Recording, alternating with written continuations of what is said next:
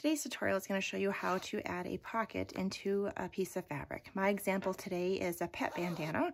If you're looking for a bandana pattern, I will leave a link to that in the description of this tutorial, but this is just for the pocket portion alone.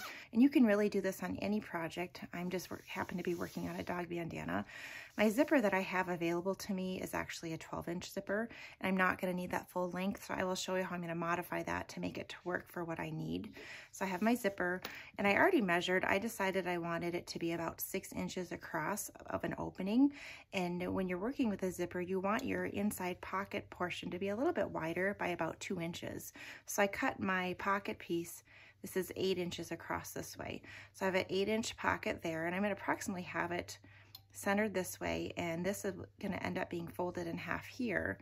And you can see, depending on where I place this, if I make it too wide or too long, the corners might pop out over the end. So I went ahead and I measured and I figured I wanted it to be about four inches um, deep from where I'm gonna start it. That way I'm, I'm clear from the, the seam allowance down here.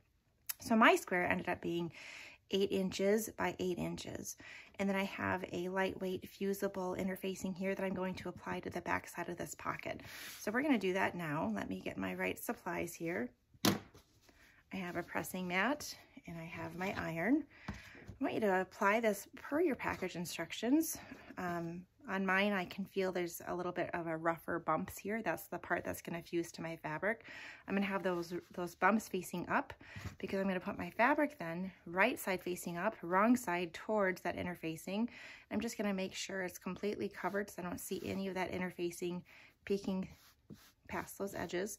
And then I'm just going to use my iron and secure that so that it stays next to that wrong side of my pocket piece. So I'll press this now.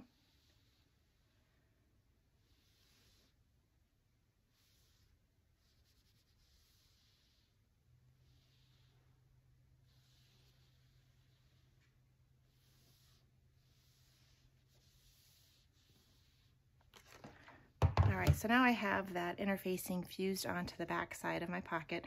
I kind of want to know where my centerpiece is, so when I attach it to this, I have it centered.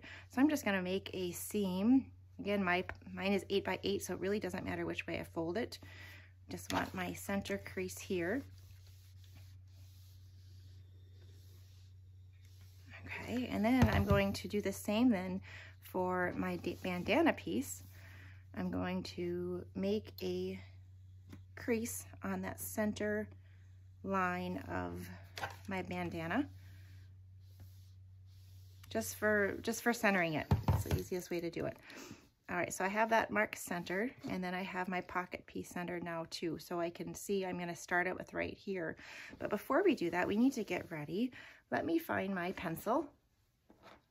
Okay, so what you're gonna do is we're going to measure, let's see here, we're gonna go about an inch down from the top here.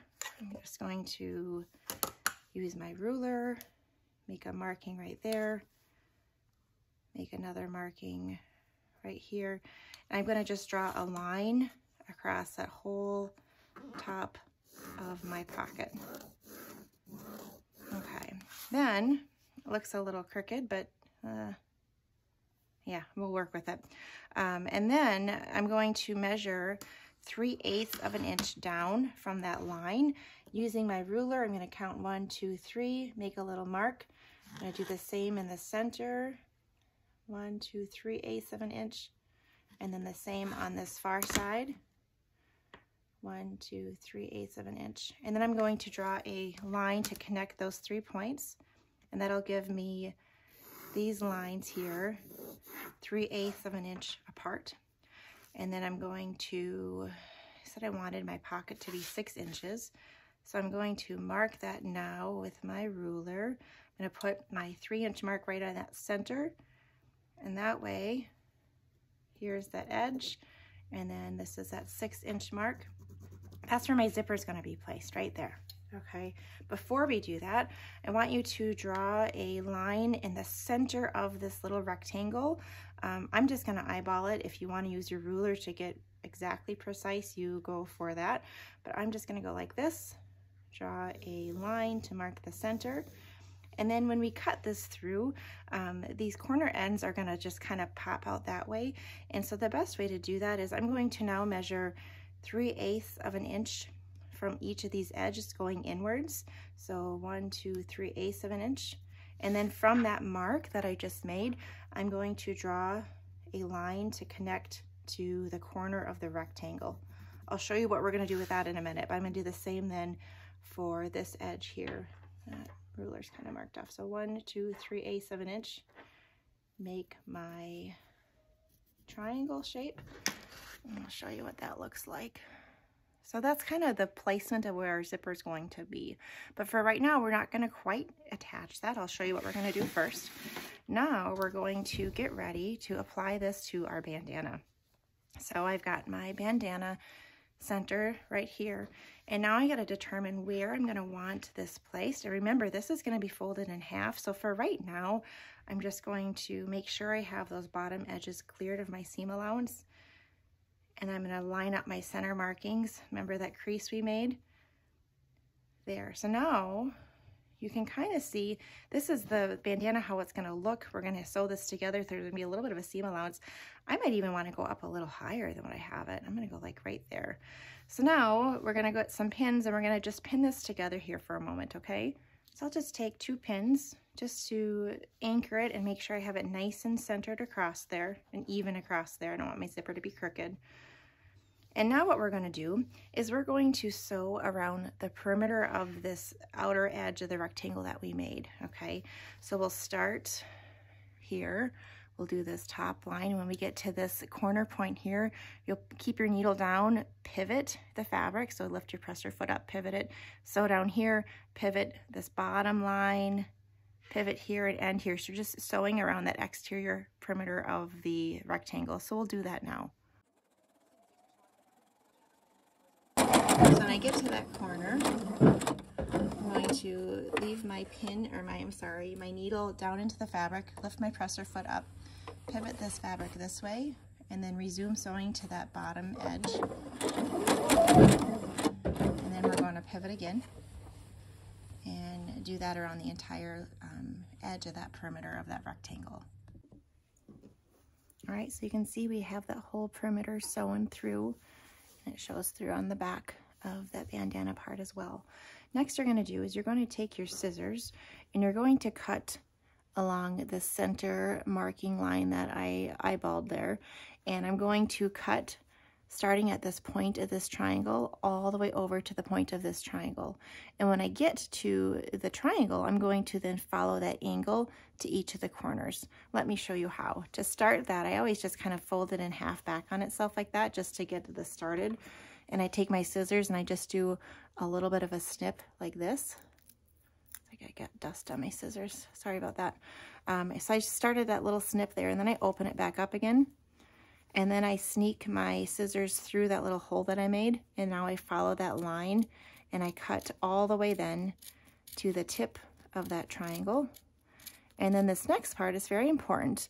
We cut very close to this corner here, but we don't want to accidentally cut that seam. Get as close to that seam as possible without cutting it, okay?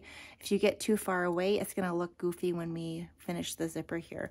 So you can see I got real close to that corner, and I'm going to repeat on this, this bottom one here as well. I'm going to the corner of that seam, but I'm not cutting the seam. So you can see what that looks like. And I'm going to flip this around and go to the other side. Follow the center seam. I'm cutting through the pocket portion and that bandana portion. Cutting to the tip of that triangle. And then I'm going to follow the angle of the triangle to that corner without cutting that seam. And almost done here. Okay. So the next thing we're going to do is we're going to fold, I have this, again, the, top, the right side of the bandana facing up. Fold this top edge of the pocket portion down so that the seam is, so that fold is against kind of where that seam is. Take your iron and just press that downwards. And then um, I have you just pin, let's see here, let's flip it over first. So we now see the back and I have that, make sure that that's folded down where we just pressed. And I'm going to pin this down like here. And what we're gonna do is it's called an understitch. We're going to stitch against this raw edge here to secure that against this folded piece here. Um, you can do a straight stitch right against, kind of right in between where the edge of the fabric is and where that straight seam is from before. If you want to do a zigzag stitch, that's perfectly fine.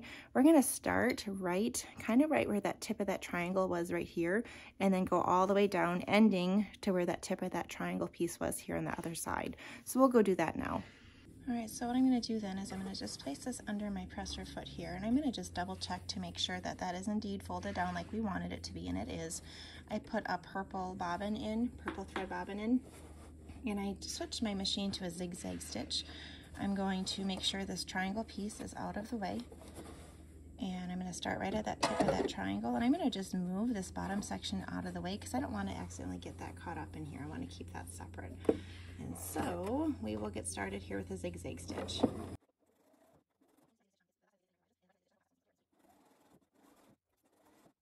And then I'm ending right at that tip of that triangle piece. And cut that thread out of there. And you can see then, that's what it looks like. And on the underside, I had a purple bobbin, but my top thread was white, kind of, kind of showed through a little bit, but that's what that's gonna look like. Now we'll repeat that with the other side of the pocket. I'll show you how next. So I have that one zigzag stitch that way. Now we're going to do this lower edge of the pocket and we're gonna just do kind of the same steps. This time we're gonna fold it up on itself like this against that sewn seam. I'll use my iron and just press that so to make sure it's against that fold. And again, I prefer to sew from this side so I can see exactly and make sure I catch that, that raw edge of the pocket here. And so again, we're going to start at the tip of the triangle, zigzag stitch down to this tip of that triangle. We'll do that next. I'm gonna just pin mine in place so that I know I have it folded when I get it to the machine. And we'll sew that part next. I can kind of show you up close where what we're looking at. All right, so I'm gonna just guide this underneath my presser foot and you can see I'm keeping this one. This is what we already sewed. I have that out of the way. And I'm going to start at the tip of that triangle and zigzag stitch down to the lower section. And again, I'm stopping right at that tip of that triangle. The thread now, and you can see then that triangle piece is loose. That's right how I want it to be. And as is here. Okay. All right, so now we're ready to tuck the pocket into that hole. So you're gonna tuck everything in through that opening so it's on the back side of your fabric piece. All right, now I want you to, we're gonna then press this opening again with our iron. And so I'll start with the top edge and I'm gonna fold it back on itself right over that seam, kind of like that. I don't know if you can see that very well just right against that edge so that seam is going to be flush with where that fold is. So starting at the top, I'm going to get my iron out here in a minute, fold against there, and press with an iron. All right, so that top part is ready. Now we're going to do the same with the bottom edge. Have that folded edge be right against the edge so you're kind of folding the fabric back on itself.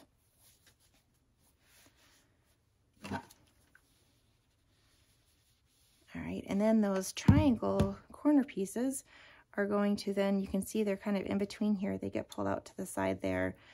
And this is where if you don't, if you didn't trim those close to that corner edge, it's not going to lay flat and it's going to look really wonky. So just, um, you can go back in and trim it more if you need to. Mine turned out okay here. I'm just going to press those so they're flat. And now we're ready to sew the zipper to this section here. So now when we do the zipper, you can see, like I mentioned earlier, my zipper that I have on hand is way longer than what I need it to be. So what I'm going to do is I'm going to have, when I apply this here, I just want to get the right length going here.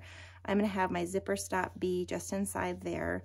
And then I'm going to have my zipper head be, it's going to end up being, I'm just going to kind of make a marking where I want it to be. This will end right about here. And so what I'm going to do is I'm going to just pin this together right here. And I'm going to take the zipper to my machine and I'm going to just tack it together right by this pin here to keep it close. And I'm going to cut it there because that'll be kind of the beginning of my zipper. Um, so we'll do that now. So here is where I have that pin and I wanted it to tack it just to the right side of there. So I'm going to just put this under my machine right here and I'm going to just sew back and forth on there and reverse it here once I get past those zipper teeth. This is a plastic zipper. If I had a metal teeth, I wouldn't be able to do this on my machine or I might bust a needle. I'm still in zigzag stitch, but that's okay. I'm just going to go back and forth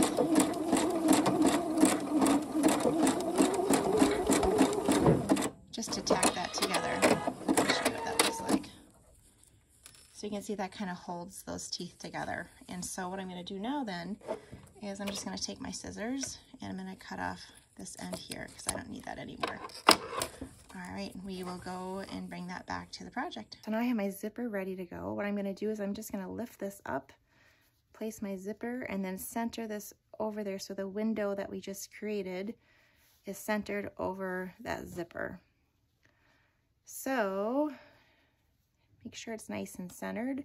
And then you can go ahead and pin this in place so that when we sew it, it stays centered in that opening.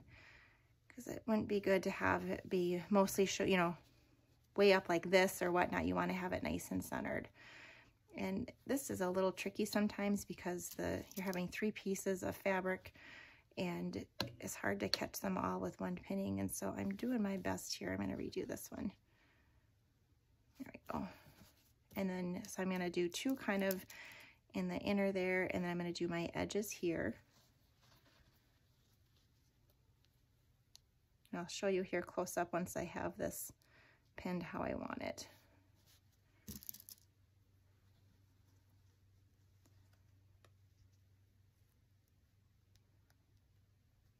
Okay, so I have it pinned centered in that window.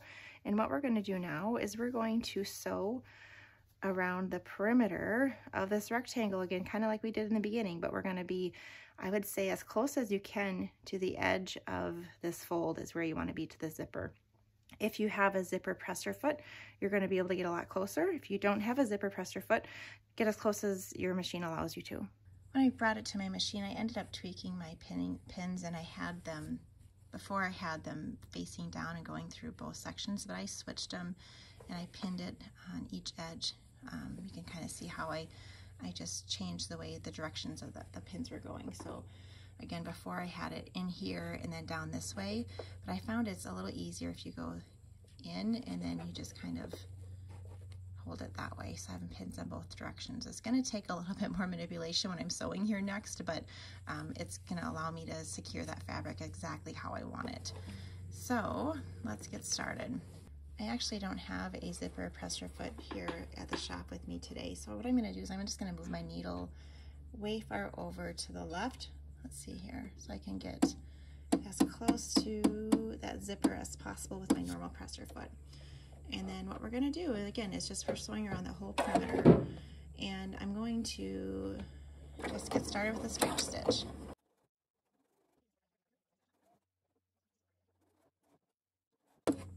And so now that I am near this edge, this, this head of the zipper is tough to sew around.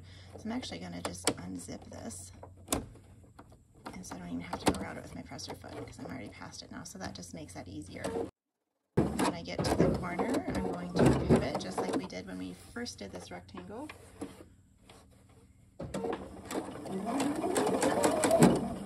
And then pivot again. And now we'll do that lower edge. And we'll do the same thing with that head of that zipper when we get to it. when We'll move past where I already sewed.